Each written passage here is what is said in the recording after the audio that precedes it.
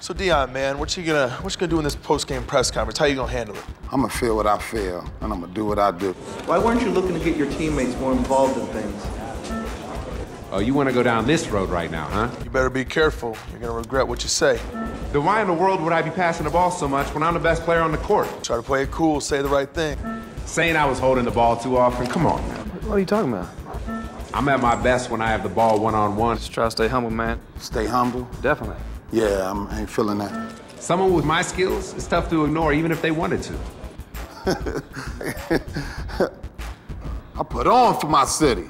You know, you know what I'm saying? You know. Next question, man.